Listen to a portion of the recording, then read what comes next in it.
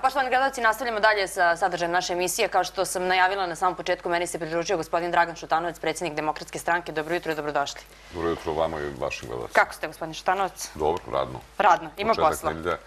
Pa kako da nema posla? Ja sam i svakog vikenda na poslu, prošlog vikenda, dakle, juče sam bio u Kostolcu, u subotu sam imao jednu veliku turu, išao sam u Negotin u kampanju, pa sam iz Negotina imao neku obavezu u Arilju, prešao 900 km i moram da vam priznam da se odlično u stvari osjećam kad sam na terenu i kad sam sa ljudima. Mene kao političara najviše zamara sedenje u nekoj kancelariji, u nekoj fotelji i to u stvari meni nije ambijent u kome ja volim da radim i zato kad kažete ima posla, ja volim taj posao i radim ga, mislim, dobro. Kako je trenutno stanje pred izbore u ovih pet, odnosno četiri opštine? Pa, prvo moram da kažem da, da je velika šteta što, što pojedine stranke i pojedinci bojkotuju izbore u tim opštinama, jer mislim da smo mogli napravimo sigurno i bolji rezultat. Očekujem solidan i dobar rezultat. Um, odziv građana uh, i u Negotinu i u Mionici i u Pećinicima gdje sam bio, idem uskoro, pardon, i u Negotinu i u Kostolcu, idem uskoro i u Mionicu. Ja mislim da je jako dobar, ljudi traže promene. Uh, šteta što tamo nismo dobili podršku i oni koji nemaju organizaciju, ali bi njihova podrška uh, značila makar na društvenim mrežama ali sve skupa mi imamo odlične liste, odlične kandidate, za razliku od Srpske napredne stranke koja krije svoje kandidate i koja se krije iz Aleksandra Vučića. Mi nastupamo sa ljudima koji su poznati, sa dobrim ljudima, dobrim e, domaćinima, sa ljudima koji su poznati u svojoj sferi, od lekara preko inženjera koji imaju utemeljenje u svojim opštinama i u svom, da kažem, komšiluku. Ljudi ih vole i vidjet ćemo koliki će procenat biti. Ja očekujem da bude minimum e, znači, dvocifren, pa vidjet ćemo koliko u proseku i time će praktično demokratska stranka pokazati da ne postoji nijedna druga organizacija u Srbiji koja radi od Surdulice do Subotice i koja može objektivno da se suprostavi Srpskoj napravnoj stranci, odnosno da sva ona dešavanja u prošlosti koje su bila, a ticala se promjena režima, uvek je predvodila demokratska stranka i bila noseća stranka i ja sam ubiđen da je to, da je to i tako. Ako vam kažem samo da su pećnici od Hale, od Hale na Novom Beoradu nekih 20 minuta, i da niko iz Beograda nije tamo otišao, sem demokrata, da niko nije e, kandidovao listu, on vam je jasno da u stvari ne postoji za interesovanje ljudi van Beograda, ovih u Beogradu šta se dešava van Beograda, a nama to nije blisko, mi želimo da radimo u cijeloj Srbiji. Da li zaista mislite da sami možete da pobedite Srpsku naprednu stranku, obzirom na to da su izbori ove četiri opštine vrlo namenski, da su izabrane upravo ove četiri opštine gde Srpska napredna stranka zaista e, ima većinu? Ja nisam naivan, niti smo mi naivni ali mislimo da ako se ne borimo, nećemo ni ni pobediti. Dakle, mi se sve vreme borimo od kako smo nastali kao stranka pre, u februaru će biti 29 godina i tada nismo mislili da možemo da da pobedimo Miloševića u prvom prvom izbornom ciklusu, ali mislim da možemo da osvojimo dobar rezultat i da to bude podstrek dalje za neke republičke izbore. Mislim da je SNS ranjiv i žao mi je što, kažem, su ostale stranke pokreti se fokusirali samo na krug dvojke i što ne razumeju da i van kruga dvojke žive ljudi kojima je podjednako teško, ako ne i teže, i kojima treba pomoć u lokalnoj samupravi i, kaže, mi nastupamo u punom kapacitetu. Da li ćemo osvojiti pobedu, bilo bi su više ambiciozno da ja sad to kažem, ali da ćemo osvojiti dobre rezultate, ja gotovo mogu da garantujem. Da, mene zanima, evo, gospodin Đilas je e, najavio kandidaturu za gradonačelnika Beograda i vi ste se sastali sa njim, čini mi se. Da, ja sam se vidio i sa Đilasom, vidio sam se i sa drugim predstavnicima raznih stranaka koji e, su zainteresovali da učestvuju e, na izborima u Beoradu. Razgovaramo potpuno normalno. Često sam iznenađen natpisima u novinama kako to ima neke tenzije. Ne imamo mi nikakve tenzije. Mi imamo ovo drugačiji pogled e, ne samo na razvoj Beorada, već generalno na nastup u gradu i to će opredeljivati i demokratsku stranku u perspektivi u donošenju odluka kako ćemo nastupiti na gradskim izborima. Hoćete li podržati Dragana Đilasa u kandidaturi za gradonačelnika? Ja sam više puta rekao i predsjedništvo je donalo odluku. Prvo, mi više ne želimo da podržavamo nikoga, ne želimo da stojimo ni za koga. Ako se nama nudi da mi budemo tehničko osoblje koje će da lepi plakate i deli letke, ja moram da kažem da demokratska stranka ima najveći kapacitet e, i intelektualaca i ljudi koji se razumiju u politiku i koji danas spremaju program za razvoj Beorada Tako da ideja da, da, da mi sve to sklonimo, ne bi li podržavali jednog čoveka koji bi trebao da da pobedi, naprosto za nas nije prihvatljiva. A zar nije to nekako logično u trenutku kada je opozicija nikad bliža ukoliko se ujedini, nikad bliža pobedi nad naprednom strankom, da na neki pa način se po strani staviti i neki interesi ili možda sukobi lični ili kako Nema tu nikakvih ličnih sukoba, nema ni nekih ličnih interesa. Mislim da u Beoradu moramo da pomodimo i politiku i ideologiju. Mislim da Beorađani treba da znaju ko su kandidati i šta su oni radili poslednjih 4, 5, 6 godina, za koju su politiku zastupali. Mi smo i pre šest meseci na republičkim izborima jasnu politiku zastupali. Ja ne znam šta je gospodin Đilas u tom trenutku zastupao i zašto tad nije rekao koga zastupao i zašto na kraju krajeva i danas ne kaže da li podržava one građane koji su skupili hrabrost, snagu i energiju da se kandiduju u ove četiri opštine. Znači, ništa ovo nije lično. Ja mislim samo da demokratska stranka, rekao sam već da je predsjedništvo donalo odluku da mi imamo naše kandidata i s druge strane mislim da je potpuno prirodno da se sa demokratskom strankom razgovara ukoliko želi da bude partner pre nego što se objavi kandidatura, a ne nakon objave kandidature, pošto ja mislim da ne postoji nikakav mesija koji može da spasi građane Srbije. Ja mislim da to mora da postoji uh, jedan sistem, da je taj sistem trenutno u opoziciji, kao što vidite, najjači upravo demokratska stranka. I to nije pitanje Dragana Šutanovca, to je naprosto tako u posljednjih 28 godina. Sve promene u Srbiji su izvođene uh, uz pomoć ili je noseća stranka bila upravo demokratska stranka. Da, kada je gospodin Balša Božović bio gost u ovoj emisiji, ja sam ga pitala zašto se ne ujedinite i ne nastupite u tom jednom frontu opozicije. On je rekao, pa hoćemo. Međutim, iz vaše priče shvatam da nećete. Da, ne, pa nije pitanje da li mi hoćemo, nećemo. Mislim da se nameći naprosto da će biti dve kolone uz Aleksandra Šapića koji također ne želi da napravi... Ni njega ne želite da podržite? Ne, ne, ne, pa nemamo sa njim čak ni dodeš, s njima nismo razgovarali. Ja sam, ja šest meseci unazad govorim da mislim da je u Berodu svrsishodno da imamo dve kolone. Jedna kolona socijaldemokratska, centar, da kažem, levo, koju predvodi demokratska stranka, u kojoj bi volao da vidim stranke koje su bliske našoj politici. I druga kolona, narodnjačka kolona u kojoj su Narodna stranka, Dragan Đilas, nisam očekivao da će biti pokret slobodnih građana, ali oni su se opredelili. Vidim da su dobili i podršku Velimira Ilića i verovatno će tu biti još nekih, da kažem, desnih stranaka koje nalaze svoje utemeljenje u politici koju nudi pre svega Narodna stranka Vuka Jeremića. Da, gospodin Šutanovac, znate li da su e, nezakoniti ovi izbori u ove četiri opštine? Kako mislite nezakoniti? Pa, obzirom na to da se zna da je od trenutka kada su raspisani izbori mora da prođe određen broj dana, to se neće dogoditi. I samim tim uh, legitimitet tih izbora se dovodi u pitanje. Zašto ste podržali izbore koji nisu legitimni? I tako ste na neki način možda dali Srpskoj naprednoj stranci legitimitet da nastavi da radi ono što radi u svim uh, opštinama u Srbiji. To je jako interesantno pitanje. Da li mi trebamo da se predamo ili da se borimo? I onda se uh, taj bumerang vrati i onda se postavlja pitanje zbog čega se bilo ko kandiduje u Beoradu ako nemamo uslove za e, izlazak na izbore u ove četiri opštine. Zbog čega neko najavljuje da će biti kandidat u Beoradu ukoliko smatra da izbori nisu legitimni. S druge strane, u martu mesecu će biti raspisani izbori u još pet opština širom Srbije. E, također od tih pet opština demokratska stranka će da nastupa i mene zanima kako će se ponašati ove druge stranke koje u tim opštinama opet nemaju kapacitet, da li će opet bojkotovati građane koji žive u tim opštinama, ne bi li, kažem, vodili politiku u krugu dvojke koja je njima očigledno najinteresantnija. Dakle, mi ne dajemo legitimitet SNS-u, naprotiv, mi smo najveći protivnik SNS-a, svi ostali su mogli da pomognu ili bar da ne rade aktivni bojkot.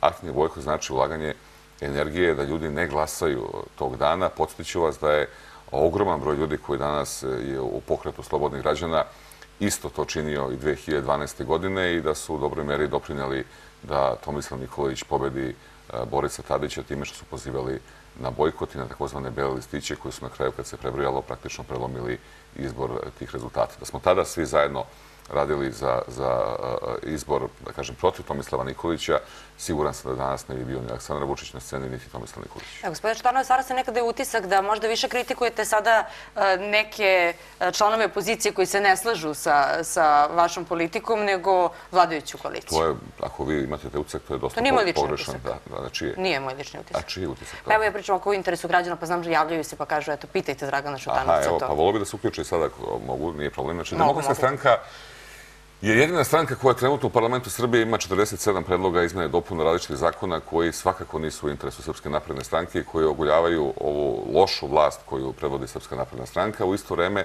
podali smo e, zahteve za preko 23 anketna odbora e, u Skupštini Srbije, jer ono što e, može da se čuje kod vas ovdje u emisiji, mhm. raznorazni napadi na ovu vlast, u stvari treba da se institucionalizuju i mi to radimo institucionalno upravo u parlamentu Srbije i tamo govorimo pred naprednjacima, govorimo šta je to što mislimo da je koruptivno i kriminalno u njihove vlasti. Dakle, mi nismo stranka koja gostuje samo na televiziji, mhm. mi smo stranka koja je i na terenu, i u parlamentu, i u medijima gde možemo da budemo i da kažem sve vreme radimo sa našim članstvom, simpatizerima i aktivistima koji žele da promene Srbiju. Dakle, nama je glavni protivnik na ovim izborima upravo Aleksandar Vučić i SNS, nije nam protivnik niko iz opozicije, ni Šapić, ni Đilas, ni Dosta je bilo, ni ne dajemo Beorad, ni Beli, ni ne znam više ko će sve da se kandiduje. Mi želimo da Beorad dobije jednu vlast koja će e, pre svega brinuti o gradu i o Beorađanima, a ne brinuti o svom lideru i neke jarbole postavljati po Beoradu i fontane e, na kako se kaže, na muziku ili već kako, muzičke fontane. Muzičke fontane, da. Da, to je nešto ove novo u Beoradu i Srbiji. Da, možete li sada ekskluzivno za našu televiziju da otkrijete ko će biti vaš kandidat za gradonačelnik? Predsjedništvo će doneti odluku na tu temu. A nećete da nam kažete? Pa dobro, nije ovo momena da ja otkrivam to dok ne bude predsjedništvo donalo zvaničnu odluku. Ono što mogu da vam kažem da će na listi demokratske stranke što se tiče demokratske stranke, biti sigurno jako poznata lica iz sveta, da kažem, i politike s jedne strane i iz sveta eksperata koji se tiču poslova e, grada. Znači, bit će tu profesora fakulteta koji se bave urbanizmom, arhitekturom, energetikom, saobraćajem. Dakle, pokušamo da okupimo ozbiljan tim koji razume probleme Beorada, nudi rešenja, zdravstva također, mhm. nudi rešenja i koji će da izađe pred građane sa konkretnim rešenjima za probleme u kojima se oni nalaze. Ja sam objavio upravo u nedeljniku jedan tekst koji se tiče kulture. To je jedan e, potpuno novi pristup kulturi koji demokratska stranka do sada nikada nije imala i želim da pozovem sve ljudi iz kulture da da ga pročitaju i da zajedno radimo na tome, imajući vidu da smo mi pravili mnogo grešaka iz te oblasti. S druge strane, na našoj listi će se naći ljudi koji e, su, da kažem, novi e, u politici, ljudi za koje tvrdim da mogu da urede razne segmente grada, u ovom trenutku mogu da kažem ko će da se pobrine o komunalnoj policiji, da mhm. ta policija više ne bude e, policija koja se plaše građanim, već da radi u korist građana. General Sveto Malinović će da uređuje taj sistem. General Radović će se baviti e, kontrolom e, tendera kao čovjek koji je vodio vojni inspektorat i koji je izuzetan oficir s jedne strane i vrlo pedantan i precizan čovjek. Siguran sam da mu neće proći nijedan tender namješten kao što se to sada dešava. A hoćete možda vi biti kandidat za gradonačelnika? Čućete to na vreme, nemojte se brinuti oko toga. Ne brinemo se, nego nas zanima. Siguran sam samo da će i kandidat i cela lista biti najbolje od svih eh, mogućih ponuđenih i neće biti, eh, da kažem, sklepana, bit će jasna, ideološka, sa rešenjima i konkretnim stvarima za građane i građanke grada Beorada. Da, ima nekog na telefonskoj vezi. Dobar dan, poštovanje. Dobar dan i moje ništa manje. Prvo pitanje, da li se nalazite dalje u Nušićevoj 21 za gospodina Šutanovca?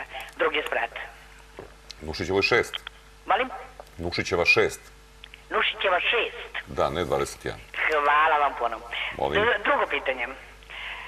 E, koje je to čudo, ne znam šta da kažem, ne, ne znam kako da nazovem, kada se dođe na vlast, znači e, pobedje se na izborima i tako dalje, i bude 5-6 meseci, godinu dana normalno, i kao da tu vlast obuzde neka vrsta ludila. Znači, primjera radi, e, imamo na Kosovu i Metohiji gde drugi narodi e, ruše spomenike, zabranjuje Srbima da dolaze ovdje na Lešću i uopšte u svim drugim grobima Beograda za zadušnice. E, svako ima svoje, svako ima nekog kog nema. I svakome tom žao toga koga nema, on ne može na zadušnice da ode kao čovek, da zapali sveću, svaka čast može i u crkvi, to je tačno. Ali zašto postoji onda grobno mesto koje se plaća? Šta je pitanje, gospođa? A to je za vreme Đilasa ukinuto. Treće pitanje, da li postoji mogućnost da vas ne zaklinjem, jer onda ću da ispadem prosta, a to ne želim. A verujem u Boga. Ako ponovo dođete na vlast, da više nikada, molim vas, znači ja ću doći u Nučićevu šest, samo ne znam Dobrodošli. kada ste tamo, pošto su sad u vezi ovih izbora, pa sad e, naravno na sve strane, ali bih volela lično da se pogledam, konkretno baš sa vama, oči u oči, a neka pitanja bi vam postavila koje nisu za televiziju. Ali ako bi se desilo da pobedite, da više nikada ne napravite greške koje ste pravili. Jer gospodin Đilas, sticam okolnosti lično mojim očima, njegova sekretarica, koji sam odala dokument samo da mi, da mi overi, ona kaže, a što se da treba da radim? Došla mi da kažem da zovemo 988 pa ako oni ne znaju da sedimo pa da plačemo. Da li to može da se desi uh, jednom gradonačelniku? Ja smatram da ne može. Dobro, I hvala što ste se javili. Druga stvar, Hvala što ste se javili. Tri pitanja. bilo. Zahvaljujem. Pa dobro, više su bile konstatacije, Konstatacije, tako i ono što je meni, e, moram da priznam, jako teško. Znači, ja često odgovaram u ime demokratske stranke za greške onih ljudi koji odavno nisu u demokratskoj stranci. Ja to i na Đilasa e, mislite? Pa i na Đilas između ostalog i na razne druge koji su napustili demokratsku stranku, a mi odgovaramo, ne znam, od reforme e, pravosuđa, pa preko grešaka u gradskoj kulturi, preko formiranja komunalne policije, preko razno raznih stvari. Dobro, ali vi ste kad- demokratska stranka, gospodine Šuker. ne, ja nisam demokratska stranka, ja samo Dobro, sam, ja sam, ja sam čovjek koga je demokratska stranka izabrala da, da je vodi na određeno vreme, ali ja, ja nikako da dobijem pitanje da neko kaže, gospodine Štanalac, vi kad ste bili ministar odbrane, evo, mi smo ovaj, imali situaciju koja je nešto nezadovoljavajuća. Dakle, svi, uključujući i vas, znači svi, e, kada govorite o demokratskoj stranci, e, tragate za, za greškama koje su učinili drugi ljudi. Ja sedim kod vas u studiju i nikad nisam čuo da neko napominje greške koje je činio moj tim u Ministarstvu odbrane, jer smo mi očigledno ispunili sva obećanja i očigledno je da, da kada ispunite sva obećanja i podignete životni standard ljudi i učinite da im život bude kudikamo lakši i profesionalno lično, onda to više nije interesantna Nemojte tema. da zaboravite, gospodine. Šutanac, pričali smo i o, Pričamo vašim podvizima svoje ovo nije stvar podviga, nego je stvar znači, da pričamo o tome da, da postoje ljudi koji su radili u, u to vreme kad su se neke greške pravile s tim, što gospođa kaže da je ona religiozna. Znači, ja mislim da, da, da njegovu svetost patrijarha Pavla da pitamo, izvinite, da li ste, da smo mogućnosti da ga pitamo da li ste grešili, pa i on bi rekao da je grešio. Ali ja naglašavam ono što je, što je dobro. Dakle, mislim, mnogo toga a, je demokratska stranka uradila dobro, svi mi zajedno koji smo tada, kada radili, posličila da smo mi nasledili državu koja je bila potpuno razvaljena, nakon četiri izgubljena rata, 18 penzija smo dugovali, 24 socijalna dodatka, desetak i više milijardi stave devizne štednje, devizne rezerve su bile na nivou 200-300 miliona evra, ostavili smo 11 eh, milijardi evra. Dakle, mnogo toga je učinjeno, ali očigledno je da su ljudi očekivali mnogo više. Negde smo možda i mi grešili u tom vremenu, jer smo davali obećanja koja eh, nisu bila bazirana na realnim mogućnostima, ne političkim našim, nego ekonomskim državnim, jer država je bila, kažem, u potpunom kolapsu i na kolenima. Da vidimo ko nam se javlja. Dobar dan, poštovanje. Dobar dan. Poštovanje. E. Mirjana je sa ove strane, član sam e, demokratske stranke, ne što je vaša koleginica rekla, ove njegove stranke. Nisam njegove stranke, nego demokratske stranke. Dobro. E, pozdravljam vas, prijatno Poštovanje. kafa. A, želim da uspemo na izborima, ali imam, dobro, ovo je konstatacija, ovaj, to je jedna stara izreka, e, E, ne daj Bože da se Srbi slože. Kao što smo se 2000. godine složili. E, jeste i opet konstatacija. Ja sam bolje živela, ne zato što sada pričam, zato što sam član demokratske stranke, a, bolje sam živela u to vreme sa jednom platom od 30.000 nego sada sa ovom mojom e, zagarantovanom penzijom i suprugovom platom sada smo četvoro bili i nismo mogli, da, lepo smo živeli, sve sam dugove imala, ovaj, izmirivala.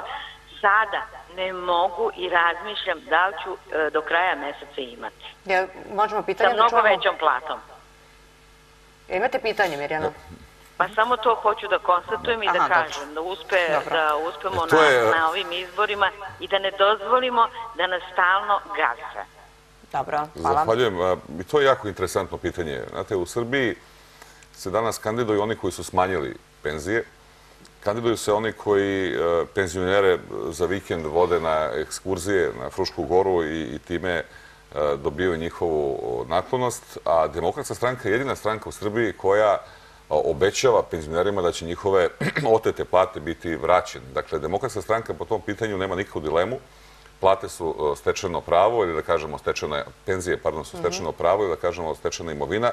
I mi smo jedina stranka koja se penzionerima obraća na način da kaže nećemo mi biti ti koji će da vas voze na ekskurzije, nego ćete vi to odraditi sami od svojih e, penzija koji su vam oteli ovi koji su trenutno na vlasti. I to je jako važna poruka. S druge strane, svi smo svedoci da je frižider e, sve manje pun, da je da je rezervoar prazan, da su i te male penzije i plate nedovoljne usred svih poskupljenja da da se plaćaju osnovne potrebe za život i to je nešto što je očigledno i mislim da tu više nema nikakve dileme s tim što ja mislim da građani koji su u takvom problemu, a to je najveći broj građana, u stvari čekaju rešenja. Ne čekaju samo da neko vikne Ua Vučiću, jer mislim da i oni svakodnevno viču Ua Vučiću, čak i oni koji su glasali za Vučića su razočarani time da ih je prevario i po pitanju penzija, i plata, i povećanja cene električne energije i svakoga dana imamo neka nova povećanja. Svi porezi su povećani i oni traže rešenje. Zbog toga je Demokratska stranka u parlamentu Srbije E, to možda deluje tiho, pošto to ne prenose glavni mediji, nudi 47 izmjena, gotovo 50 e, rešenja za probleme izmjena i dopuna zakona u kojima e, teramo ovu vlast da bude bolja, jer je to interes građana, a mi nudimo, kažem, rešenja koje oni, nažalost, ne žele da prihvate čak ni da stave na plenarnu sednicu, ali mi ne odustajemo i dalje. Znači, mi ćemo nuditi rešenje i to im je, da kažem, najvažnije. Gospodin Šatonovac, ne može da se spori da ste prilično glasni u kritikovanju e, Srpske napredne stranke, međutim, u političkim krugovima se negde priča da e, ste možda e, i vi postali neki deo te lažne opozicije, da je tako nazovemo. Priča se o tome da ste se možda dogovorili sa Vučićem da sklopite neki dogovor i da ćete dobiti mesto u vladi. Da li je to istina? Pa moram da priznam da... Jeste čuli te priče sa početak? Pa ne, čuo sam kako nisam čuo i imam oko toga onako vrlo rigidan odnos. Znate da mhm. sam ja bio kandidat Vučića za general sekretaru jednih nacija pa da mi neko zameri pa da kaže evo sklopio neki dogovor. Da sam ja bio recimo ombudsman koji je glasao SNS, pa da kažem da eto neki dogovor postoji, verovatno. Da sam ja bio ministar u vladi Aleksandra Vučića, pa da kažem da postoji neki dogovor. Da sam ja mhm. bio predsjednik Košakšnog savjeza Srbije u vremenu dok je Vučić premijer ili predsjednik, pa da kažem opet postoji neki dogovor. Znate, ja sam četiri godine proveo na optuženijskoj klupi, branići istinu, pravo i pravdu, oslobođen sam na sudu, dok su neki drugi imali neke dogovore sa SNS-om i danas je to ovaj, pokušava da se zaspinuje i da se kaže kako ne, upravo mi imamo neki dogovor. Ne, mi nemamo nikakav dogovor, mi želimo da se ova e, katastrofalna vlast smeni, Zbog toga, kažem, pokrećemo glasno i jasno u parlamentu Srbije i potrebu da se formiraju anketni odbori koji će da utvrde šta je sve ova loša vlast uradila i ne postoji nikakav dogovor, ali razumijem, to je nekome postao sada Libi. Ja razno razne funkcionere drugih strana kada sticam okolnosti e, posredno znam ili preko nekih prijatelja, pa onda slušam tako te neke navođenje neke priče, a pritom kad ih vratim u realno vreme, onda ovaj, im ne bude baš e, sve jasno, ali moje nije ideja zaista da ja plasiram bilo kakve dezinformacije ili informacije. Meni je bilo ponuđeno da budem čak u nekoj koncentracijnoj vladi sa Aleksandrom Vučićem, što sam ja uz podsmeh odbio, ne verujući da nekom pada tako nešto na pamet. Ali mi je jako interesantno kad ti ljudi ovaj danas šire te priče. U stvari, sa kojom idejom ideja nisam ja sporan. Sporna je demokratska stranka. Znači, demokratska stranka je sporna onim ljudima koji danas ne mogu u pećincima da prijeve listu. E, onda je sporna demokratska stranka, zato što demokratska stranka neće da ispusti šansu da pomogne građanima u pećincima. Kao i u Mionici, kao i u Negotinu, Kostolcu, sutra u Aranđelovcu, Boru, Majdanpeku i tako dalje. Dakle, kada ne bi postojala demokratska stranka, ti koji to pričaju, bi se osjećali znatno bolje, da bi valjda oni bili jedini. Ali ne priča to samo opozicija. Ja kroz vaš odgovor mogu da nastutim na koga aludirate. Ne, ne aludiram ni na koga ja konkretno. To pričaju i naprednjaci, da ste se vi možda napravili neki interni dogovor. Ja moram reći da ne znam sa kojim naprednjacima vi komunicirate. Ja ne komuniciram ni s jednim naprednjacima, osim što komuniciraju u parlamentu naši poslanici na način na koji, kao što ste videli, recimo Martinović me u tom dogovoru pre neki dan optužio da sam bio čak čak sam bio teleohranitelj Mire Marković. Mhm. Znači, veću glupost nisam čuo odavno na političkoj sceni Srbije, ali mislim u tom dogovoru verovatno bi ovaj, to drugačije zvučalo i verovatno bi ja bio kandidat za neku ozbiljnu funkciju negdje u svetu da imam bilo kakav dogovor sa Srpskom naprednom strankom. Ima neko na telefonskoj vezi. Dobar dan, poštovanje. Dobar dan. Izvolite. E, pa, hteo bi da konstatujem nešto za Dragana Šutanovca i za ove koji su napustili demokratsku stranku. Znate šta mi je krivo? Krivo mi je što su svi izdali Đinđića. Svi koji su napustili demokratsku stranku i Tadić i Petrović i Đilas, čak i Ružica Đinđić, supruga Đinđića, Zorana Đinđića, prišla Vučiću, podržala Vučića. Ja to ne mogu da shvatim, ne mogu da shvatim taj karakter ljudi. To nisu ljudi od karaktera, s njima ne treba diskutovati uopšte. Ja ne bi s njima, ma ne bi progovorio reč s njima. Odustali su od ideje koju su, za koju su Maltene Đinđić je dao živo za njih, oni su ga napustili. Dobro, hvala vam što ste se javili. Pa ja moram da kažem da, da, da se slažem uh, u većem delu svim, svem oko gospođe Đinđić. Mislim da zaista nju ne treba da, da stavljamo u taj kontekst. Ja sam uh, 96. godine se priključio protestima i demokratskoj stranci, uh, pre svega zbog politike Miloševića, a 97. godine, 16. januara, bit će 21 puna godina, sam se učlanio u demokratsku stranku Zorana Đinđića. Ja se nisam učlanio u vlast, Nisam se učlanio kad je demokratska stranka otišla sa vlasti, znači učlanio sam se u opozicijonu stranku, radio sam, bili smo u, u nekoj poziciji, pa smo bili u opoziciji, pa smo bili opet u poziciji, posljednjih, evo, pet i po godina smo u opoziciji i ja sam tu. I ja moram da kažem isto da nemam razumevanja za ljude koji menjaju stranke. Čuo sam pre neki dan aforizam koji kaže e, menjam stranke jer želim svima da pomognem. Dakle, ta, ta vrsta politike meni nije bliska. Ja sam demokrata za ovih 21 godinu dokazani i zaista potpuno se slažem sa gospodinom. Nije mi jasno, ovaj, pogotovo mi nije jasno da oni koji su napustili našu stranku ovaj, danas traže da naša stranka sluša šta oni pričaju, a dešava se vrlo često, ne mislim samo na ove kandidate, dešava se vrlo često da oni koji su izlazili iz naše stranke i, i, i govorili jako ružne reči o našoj stranci, e, žele da u stvari s polja upravljaju sa demokratskom strankom, jer to bože mi koji smo ostali u toj stranci, koji smo upravo Đinđićevci, nemamo znanja valjda, da, da vodimo stranku. A najveći deo njih, kao što sam rekao, u stvari nikada nisu ni podigli e, člansku kartu demokratske stranke. Oni su dobili neko rešenje o nekoj funkciji u Republici. Kad je to rešenje istekao rok, onda su napustili i onda mi je bila kriva demokratska stranka što nisu ostali na pozicijama da li u gradu, Republici, opštini i tako dalje. Dobar dan, poštovanje. A ste vredni od jutra. Dobar dan. Halo? Dobar dan. Dobar dan želim. Dobar dan. Samo, samo kratko gospodinu Šutanovcu. Ovaj, bez obzira, ovaj, ministar je bio dobar i u stranci u redu i sve. Samo vas molim, molim vas, ja sam starija osoba, dobro sam procenila šta govori i gospodin Jeremić i vas sada i sve i molim vas da vas ne zaboravite na razum, razumete, i mudrost, a da ne preskočite to pa da uhvatite se za motku moć, jer ta je motka krhka. Dobro, imate neko konkretno pitanje? To je kratko pitanje da se tako ponaša opozicija. Znači, ovaj, znači, mudrost, razum, mudrost, a nikako motka moć. Između njih. Razumete? Dobro, hvala što ste se javili. Pa ja moram da priznam da, da za pet i po godine koliko sam bio ministar odbrane sam se trudio da uvek e, upravo rukovodim sistemom na način na koji gospođa kaže i da ispoštujem sve svoje saradnike i da e, sve nagrade koje sam dobio, dobio sam ih sijaset, posvetim upravo svojim saradnicima, bilo da su vojna lica, bilo da su civili. I očekujem da vam kažem iskreno da, da ti ljudi kao što su ovi generali uh, upravo zbog toga prišli demokratskoj stranci, jer su oni inače demokrate po sebi, ali, ali su došli u demokratsku stranku jer znaju na koji način ja upravljam sistemom. Ja očekujem da mi i na izborima na taj način se ponašamo i kasnije u radu. Ono što hoću također da naglasim, na ovim izborima se ne kandiduju e, gradonačelnici. I velika je zabluda ako mislimo da će neki čovjek samostalno da, da, da pobedi za gradonačelnika, znači kandiduju se liste.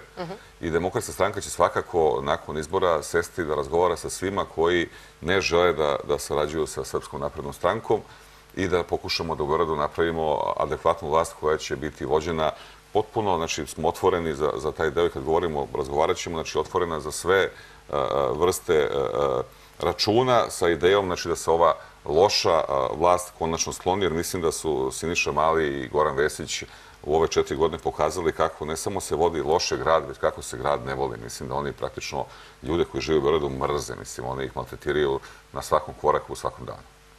Da, pa zar to nije logično da se uradi pre izbora? I to je pitanje isto. Znači, to možete da izračunate. Mislim da čak i nije logično. Jer da je logično, onda ne bi postojale ošte, postojale samo dve stranke u Srbiji. I da je tako, onda bi bila demokratska stranka ta koja bi bila sa druge strane, a ne grupe građana. Dakle, mislim da postoji jedna velika zabluda u kojoj, ne mogu da kažem sa sigurnošću, ali mislim da to čak SNS i forsira da će neke grupe građana da, da smene Aleksandra Vučića grupe građana ne mogu da smene Aleksandra Vučića, bilo da su pokreti, bilo da su udruženja, bilo da su stanari i tako dalje. Njemu to najviše odgovara, njemu najviše odgovara da ne postoji demokratska stranka. Neki drugi su se tome predlužili misleći da će oni time profitirati. Ali kad pogledate, evo kažem, imamo izbore u četiri opštine i nijedna grupa građana sa nekog gradskog nivoa nema kapacitet da izađe na te izbore. Nam je jasno da Vučiću najviše odgovara da nestane koja je stranka pa upravo demokratska stranka. I ta priča o tome kako mi imamo neki dogovor je prazna priča koja služi u stvari da unizi demokratsku stranku. Ja tvrdi da toga nema ništa i da ćemo mi novim izborima napraviti dobar rezultat i kasnije sesti sa onima da vidimo koji žele da menjaju stanje u gradu sa našom politikom, kandidovati našu politiku, reći da se mi zalažemo za šta, jer zaista mislim da postoji sijase toga što ne treba da se vrati na staro, već mora da bude potpuno novo i drugačije i savremeno i moderno i da odgovara potrebama građana u drugoj deceni 21. veka. Hoćemo da prokomentarišemo dešavanje u Nišu. Paljenje automobila i sve pa što se To nije, to nije sad da kažemo, Beogradska tema, ali očigledno da, da građani treba da znaju da, da je Beograd e, drugi najnebezbedniji grad e, u Evropi nakon Kijeva. Očigledno je da postoji neki tragičan rat e, podzemlja. To nije samo dešavanje u Nišu, to je dešavanje na utakmici pre nekoliko dana Partizana i Zvezde. Dakle, nešto se dešava u podzemlju Srbije, što očigledno država ili ne može da suzbije, ili ne ume da suzbije, ili neko tamo zatvara oči i pravi se slep. Ne bi li se posle toga to pisalo u medijima, kako su, ne znam, došli ljudi iz inostranstva da ruše, da ruše Srbiju i da ruše vlast. Ja to ne mislim. Moram naglasim još jednu stvar. Demokratska stranka među 47 izmjena i dopuna zakona je predložila i izmjenu zakona po kojoj se oduzima oružje legalno oružje koje je država dala saglasnost nasilnicima u porodici. Dolazeći kod vas u emisiju, saznao sam da upravo danas imamo još jedan, možda čak i dvostruki smrtni slučaj u kojoj je ubijena jedna žena, ne znam iz kog oružja, vrlo verovatno je ubijena iz oružja koje ima dozvolu od organa vlasti. Dakle, mi predlažemo stvari koje treba da pomognu da se u Srbiji smanji nasilje. Dakle, ovo je jedna od preventivnih mera za koju, nažalost, evo, posle već sada, mislim, četiri godine nikada nije došla ni na dnevni red, jer je očigledno ovima koji su na vlasti ne odgovara da se to, da se to desi, zbog čega zaista teško je to, to razumjeti. Da li postoje neke preče stvari kojima se oni bave? Pa ne znam koje su preče stvari kojima se bavim, mi ću da mi predlažemo stvari koje mislim da bi mogle da se usvoje bukvalno pet minuta. Od toga, recimo, da učenici čiji roditelji ne rade, imaju besplatan prevoz do škole, besplatne učbenike i ne znam neku kifu za užinu, naglašavam, roditelji ne rade. Znači, mi planiramo u Beoradu inače za sve učenike da obezbedimo besplatne učbenike. Predlažemo recimo da se krivično delo krađa beba da ne zastareva više. Mislim, prosto je nevjerovatno da se to tretira kao da ste ukrali nekome novčanik. Mislim da kada ukradete bebu u Srbiji, posle izvrstvog vremena više nemate pravo da vratite svoje dete. Znači, to su stvari koje ne koštaju ništa. Znate, svugde kad predlažete zakon, dole se piše ko treba da izvrši finansijski. Ovo ne košta ništa. Zbog čega vlast to ne želi da prihvati? Ja mislim da ima strah od toga da se nešto što demokrate predlažu prihvati, ne bi li se pokazalo da u stvari oni su nesposobni i da mi čak iz opozicije stavljamo teme koje su važne za građane. U kom segmentu su oni najnesposobniji, u kom su najsposobniji? Oni su najsposobniji u propagandi i demagogiji. Nikada tako nešto nije bilo u Srbiji. Mislim da čak i ove ljudi koji su bili oko Miloševića zavide na način na koji po dva puta u dva meseca otvaraju isti klinički centar i prave od toga e, neviđeni spektakl, troše ogromna sredstva na svoj marketing i tu stvarno nikada niko nije bio kao oni. E, s druge strane, često kažu, ne znam, da Vučić radi, on kažu, ustane 8 sati ranije da bi radio 32 sata dnevno, ali znate kako, mislim, pitanje je šta radi i u kom pravcu, a ono gde su najnesposobniji, mislim da je to upravo stanje u državi, u društvu, bezbednostno stanje, stanje u kućnom budžetu, znači životni standard i mislim da je spoljna politika potpuno haotična i nevjerovatna, a vratit ću se sada i na ovo što je gospođa rekla apropo Kosova. Potpuno je e, neprihvatljivo da ukoliko Srbe na Kosovu gurnu Zagrebe i Hardinaju, da između ostalog e, ne traže od te vlade da obezbedi makar srpska groblja, e, razne svetinje, crkve, manastire i tako dalje. I prosto mi kažem nevjerovatno zbog čega smo mi ušli u tu koaliciju. Ako smo morali da uđemo, onda smo morali da postavimo neke crvene linije da kažemo ovo su razlozi zbog kojih će Srbima danas koji žive na Kosovu, a njima je znatno teže nego nama koji živimo u Beorodu ili bilo kom delu Srbije, mhm. biti život lakši i zbog toga eto gutamo tu neku veliku žabu, ali oni će biti bezbedniji. Vidite da se to ništa ne dešava i on se postavlja pitanje u stvari kakva je to politika i na Kosovu jer podsjetit ću vas da je, da je demokratska stranka imala dosta, uslovno rečeno, tvrdu politiku na Kosovu, zaštiti interesa građana koji žive na Kosovu, a u isto vreme smo se kretali ka Europskoj uniji, čak možda i brže nego što se kreće ova vlada. Ima nekom telefonskoj vezi. Dobar dan, poštovanje. Dobar dan. Poštovanje. Ovdje Davidović Zorka. Poštovanje, Zorka. Koja je zainteresovana da postavi pitanje gospodinu Šatanovcu. Izvolite. Da li imaju namere da vraćaju restitucijom zemlju? Radi se tačno o rasadniku, ja mislim da on vrlo dobro zna, i o imanju kod bije, gde je trebalo da se zida, ne znam, lično je to bila njegova želja, međutim sve je to stopirano, a nije privedeno nameni. Ja sam inače veliki demokrata bila još kad je moj otac bio demokrata, a on došao je Tito, normalno sve je oduzeo, ostali smo bez hleba, umrli smo, to je umro mi je otac gladan, a da ne pitam koliko još sve ima i manje. Pa bih žela da znam. Šta je, ako mogu da ja pitam, šta, šta je trebalo da se zida pored bije? Moja porodica je sva za demokratu, demokrate, samo želim obećanje da li postoji mogućnost da vratite zemlju. Koliko vidim da i ovaj naš sadašnji predsjednik nema namere da vraća.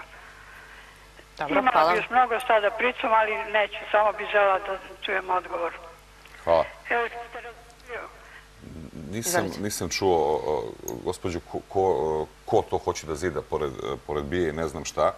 Mi se zalažemo za potpunu restituciju u onom delu u kome je moguće da se vrati zemlja, ako nije moguće da se finansijski nadoknadi eh, ako su izgrađene zgrade ili ukoliko sada, sad ne znamo ko bije, pretpostavljamo da je to zaštićena zona i da teško da može to da se vrati, da bilo ko tamo nešto zida, ali se zalažemo da se vrati ono što je, što je oteto, kao što se zalažemo da se vrati i penzije i kažemo, vratit ćemo ih, mislim da treba da se vrati sve što je oteto u Srbiji, jer nažalost komunisti su od 45. godine otimali ljudima ono što su oni sticali legalno i legitimno, a ono što se otima kriminalcima, odnosno uzima kriminalcima, to je nešto sasvim drugo. Gospodine Šodanovic, mi smo već razgovarali o najvećim problemima e, Beograđana i kritikovali ste... Ovo nismo, kako ima mnogo još problema. Ima još, izvolite. Kako ne, pa imate naše socijalno stanje u gradu mhm. katastrofalno. Znači, podsjetit ću vas da je za vreme demokratske stranke e, su postojale grupacije ljudi koji su imale da kažem, popust na, na infostan i tu se isto zalažemo da se taj popust vrati. Posebno mi je važno da se radi između ostalih i, i o ljudima koji su borci e, 90. godina koji su imali pravo na subvenciju.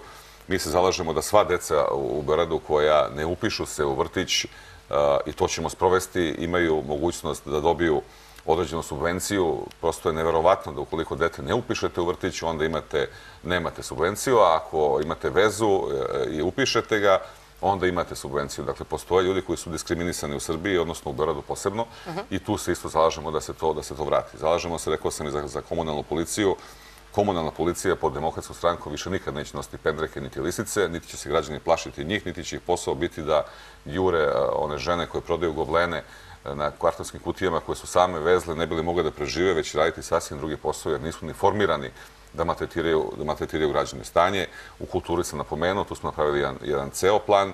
Dakle, imamo po svim segmentima o saobraćaju, razvijamo sada, uh profesori sa saobraćajnog fakulteta razvijaju jedan poseban također plan. Mislimo da Bus Plus treba da se i on preradi, da, da se modernizuje, da načine koji to radi trenutno ne funkcionišu, jer su građani se najviše žale, najviše se žale upravo na, na saobraćaj u radu. I ono što je najvažnije, a to evo ja mogu da, da ovećam, i kao ministar odbrane na pozicijama ljudi koji su vodili sektore su se nalazili ljudi koji te poslove znaju bolje od mene. Dobro. Znači, ista stvar mora da bude u radu. Znači, članovi vlade koji su zadrženi za određene resore moraju da budu eksperti, a ne da Siniša Mali i, i, i Goran Vesić odlučuju da se u istom mesecu raskopa ceo grada, da pritom ljudi iz komunalnih preduzeća im kažu da to nije dobro, nije pametno, da će grad da se zagluši. Znači, nije se grad Eh, zatvorio saobraćanje zato što su ljudi koji rade u sekretarijatima pogrešili, nego zato što su imali potrebe Vesić i Mali da se u istoj ulici slikaju sa različitih strana, da pokažu kako se nešto veliko radi. Dakle, ono što je, kažem, naglašavam, eh, ja poštujem posebno ulogu struke, ja jesam inženjer i razumem struku, ali naravno to su ljudi koji razumeju i znaju eh, mnogo više od mene i oni će biti ljudi koji će diktirati tempo, a politika oblikovati razvoj E, Beograda u budućem vremenu. Da, kada je Đilas najavio svoju kandidaturu, Siniša Mali se oglasio i ne samo on, već i mnogi nakon stvorila se prilično jedna nezgodna situacija, da tako kažemo, bar, bar je to neko e, mišljenje koje vlada u, u, u narodu. Siniša Mali ili Dragan Đilas? Ma kakav Siniša Mali, dajte molim vas da se ozbiljimo. Siniša Mali je čovjek koji se tu našao sasvim slučajno, nije se snašao, katastrofu su napravili, Beorad na vodi je nešto što, što će biti jako interesantno da se ispita u nekom budućem vremenu, da vidimo da li to može da se, da se ispravi. Dakle, ja ne vidim e, ništa e, dobro što se desilo u Beogradu, a što je Siniša Mali e, donao Beogradu. S druge strane, e, Dragan Đilas je predvodio tim demokratske stranke u tom vremenu i mnogo toga smo uradili, uradili zajedno. Mislim da mogu da vas podsjetim, ostalom ja nisam bio u gradskoj vlasti, ali e, ogroman projekat ili najveći projekat stanogradnje koji je urađen u posljednjih 30. godine, a to je kasarna Stepa Stepanović i naslije sada Stepa Stepanović i projekat koji sam ja vodio, koji, koji je ovaj, u tom vremenu bio, kažem, najveći i najveća infrastruktura koja je tada je rađena tamo. Dakle, ja dosta dobro poznajem i komunalne probleme. Znači, ne može se poradi ošte. Pa recite mi, molim vas, znači, Aleksandar Vučić sada već po ne znam koji put, ukoliko 4-5 godina obećava opet neke stanove, prvo su bili 365 evra. Sad su malo skočili cene. Sada su skočili cene na 550 evra. A da vas pitam, mislim, završili su negdje tamo u Novom Beogradu neke zgrade koje građani zovu smrdljive zgrade u koje niko ne može da se useli i za koje niko nije odgovarao. Prosto je fantastično da, da tako prođemo preko nekih par desetina miliona evra kao nema veze i idemo dalje. Dakle, sve ćemo to da uvedemo u red ja mogu da vam garantim da postoji e, timovi u demokratskoj stranci ljudi koji će to da ispitaju. Nikakve e, mi lov na veštice nećemo da sprovodimo, mi nećemo dopustiti sebi da se na naslovnim stranama nalaze ljudi koji nisu odgovorni, kao što nećemo dopustiti da se oni koji su odgovorni nalaze u sudu, a kasnije da im sud presudi. Da. Govorili smo o medijskoj, e, e, medijskoj situaciji u našoj zemlji koja je poprilično onako e, zastrašujuće, bar, mhm. bar za sada. Na koji način mislite da, da to može da se promeni i da koliko mediji u Srbiji sada mogu da utiču na ono što će se dešavati pred, pred izbore u Beogradu? Pa mediji i u Srbiji i, i u cijelom svetu izuzetno utiču na, na politički život i to je nešto što je, da kažem, aksijom. Nažalost, mediji, sem pojedini kao što, što je vaš, nisu otvoreni za predstavnike opozicije. Ja očekujem pred gradske izbore da dobijemo određene termine i mogućnost da se obratimo građanima, građanima Beorada, ali u isto vreme e, mislim da e, bez obzira na to, a mogu da vam kažem jer sam bio kažem, u ovim opštinama da imamo izbore, e, najvažnija za nas je u stvari direktna komunikacija, direktan kontakt s ljudima, da razgovaramo s njima, jer i oni žele ljudi da, što kaže ova gospođa, da će svratiti u demokratsku stranku, da se pogledamo u oči. Oni najviše vole kada vas, kada vas pogledaju u oči, kada se rukuju s vama i kada vas nešto pitaju. Zbog toga sam ja svakoga dana na terenu praktično obilazim čak i mesne odbore, imam sastanke sa desetak ljudi, komšija, ljudi koji nisu članovi demokratske stranke, a podržavaju e, demokratsku stranku i kojima objašnjam šta su naši planovi. I mislim da je to u stvari jedini način. Ja sam juče u šali okačio na, na, na Facebooku svoje blatnjeve cipele i rekao da oni koji žele da se bave velikom politikom ili visokom politikom u Srbiji moraće da okaljaju svoje cipele po, po Srbiji, a ne samo u Beoradu, jer to je jedini pravi način i mi ćemo insistirati na aktivnostima na terenu i mislim da, naravno, mediji ne zavise od nas, mi, nažalost, ne da nemamo kontrolu, nego nemamo ni uticaj, nemamo, zaista, evo mogu da kažem, ja u vremenu kad sam bio ministar, mhm. ja nisam imao nikakav uticaj na medije. Neki moje kolege su imali izuzetno veliki uticaj, ali me to, kažem, ni na koji način opterećuje.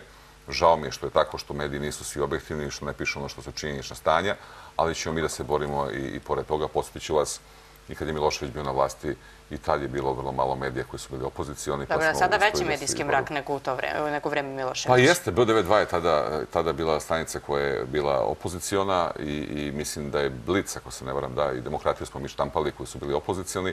Ono što, što mislim da bi trebalo da se desi u Srbiji, ali mislim da to je još uvek rano, jer mediji zavise od direktnog reklamiranja najvećeg broja i javnih preduzeća i preduzeća koje sarađuju. Mislim da je preko 55% ukupnih reklama direktno ili indirektno dolazi upravo od onih koji su u vladi.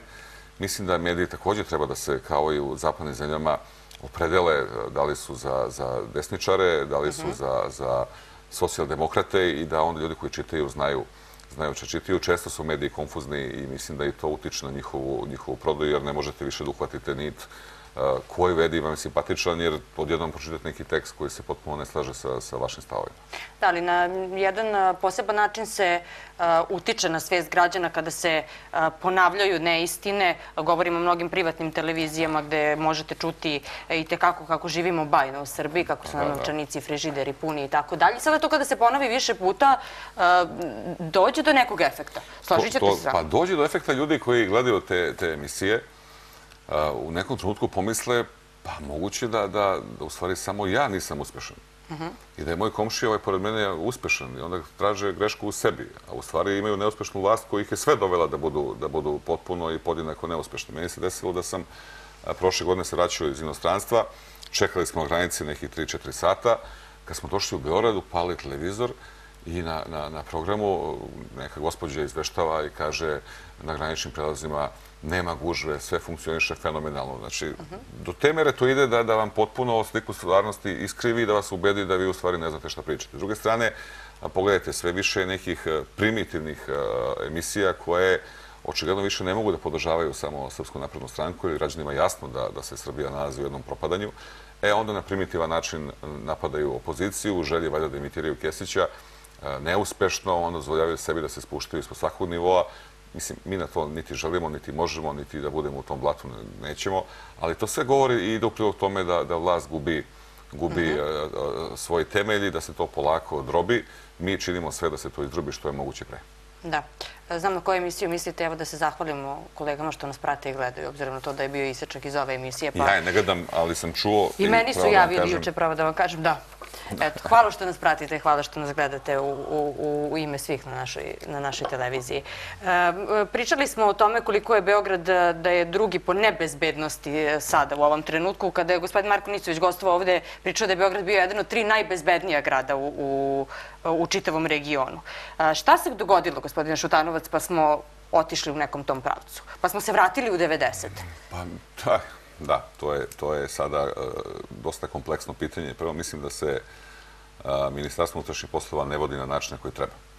Mislim da, da čuvena kadrovska piramida koja treba da se uradi nije urađena. Mislim da e, kadrovsko napredovanje koje treba da se, da se potpuno, da kažem, transparentno predstavi kao što smo to uradili u odbrane. Znači, potpuno transparentno je bilo napredovanje svih oficira, znalo se kad može da se napreduje, koje su škole neophodne za napredak, znalo se sa kojih pozicija možete doći na koje pozicije i kad se to uredili, što inače nije bio slučaj prvih godina, dve dana dok sam ja bio ministar, kad se to uredili, više niko nije se žalio, niko nije više pisao pisma, jer ja sam dobio masovna pisma kad sam postao ministar, bilo da se radi o školovanju, bilo da se radi o napredovanju, bilo da se radi o odlasku u razne vojno-diplomatska predstavništva, onda smo to uredili, napravili komisije, napravili tu jednu kadrovsku piramidu koja je onako baš kako, kako treba da bude i onda su ti ljudi počeli da rade i znaju što rade u policiji. Danas, ako ste bliski SNS-u, možete dobiti pozicije neverovatno visoke. Ako kojim slučajem niste bliski, a imate velika znanja, možete završiti u nekom podrumu, u nekom čumezu, dobiti neke, neko savjetničko, savjetničku poziciju koja vas više niko niti zove, niti vas pita, niti, niti ih interesuje. Mislim da da e, loši kadrovi e, koji su došli s polja, znači nisu čak ni iz policije, rukovode UKP-om, upravom kriminalističke policije, sve skupa to stvara jedan, ja to ne mogu da tvrdim, ali imam utisak da postoji jedan beli štrajk među policajcima koji, koji kažu čekajte, mi rizikujemo živote, smanjili ste nam plate, mi rizikujemo živote, doveli ste nam nestručne ljude, mi rizikujemo živote, vi sedite s nekim kriminalcima na raznim mestima, promovišete kriminalce, sve skupa to dovodi do toga da Srbija bude nebezbedna zemlja, a Beograd, kao što ste rekli, drugi po redu nebezbedni grad. S tim što vreme o kojem gospodin Nisović priča je potpuno mhm. drugo vreme, mislim, je to je, u stvari najveći, to mi je jako interesantno, inače, lično, mi imamo potrebu za promenom, ali tragamo za prošlošću. Mhm, mhm. Znate, mi hoćemo da promenimo da bude kao što je bilo. Pa sad kad bi se Tito, mislim, pojavio, najveći broj građana, pa kad bi se pojavio Slobodan Milošević, vjerojatno bi ovi svi glasali za Slobodana Miloševića. Dakle, ne, demokratska stranka nudi promjene na bolje, ali sa novim ljudima, sa novim programima, da pratimo modernizaciju, jer povratak na staro nas ne vodi u budućnost. Šta očekujete od beogradskih izbora? Pa ima vremena još do beogradskih izbora. Očekujem da napravimo svoj rezultat i kažem da pobjeda za mene će biti da napravimo demokratsku vlast u Beogradu koja će smeniti i Malog i Vesića. Mnogo je predizbornih obećanja, kako i opozicije, tako i pozicije. Možete li da date javno obećanje da nećete ući u bilo kakav dogovor sa Aleksandrom Vučićem? Evo, ja vam dajem javno obećanje i to vam tvrdim. Demokratska stranka nema niti će imati bilo kakav dogovor sa Aleksandrom Vučićem. To ćete imati priliku da vidite i sami vrlo brzo. A onda te koji su vam pričali, pozove tu emisiju, pa ih onda pitate i odakle vam ta informacija, zašto ste nas doveli u zabludu. Jer ja mislim stvarno sve vreme e, od ljudi koji, kažem, ne izlaze iz Beorovske kafića i tako prežvakavaju razne teme, ja ih pozivam da dođu, evo, sutra ili prek sutra mogu i do... To je 20 minuta, pećnici su 20 minuta od Beorada da podrže demokratsku stranku. Ma koliko ne volili demokratsku stranku ili neki čak i mrzeli, ipak se demokratska stranka bori tamo za neke e, birače, neke ljude koji su, da kažem, s ove strane reke, na ovoj obali, koji su protiv Aleksandra Vučića. Hvala vam, gospodine Šutanovac, što ste i ovog puta izvojili vreme za nas. Hvala i vama. Poštovani gledaci, bilo ovo sve što smo pripremili za današnje izdanje naše emisije. Mi se vidimo ponovo sutra sa početkom u 10 časova. Ja vam želim da prijatno provedete ostatak današnjih dana. Doviđenja. Thank.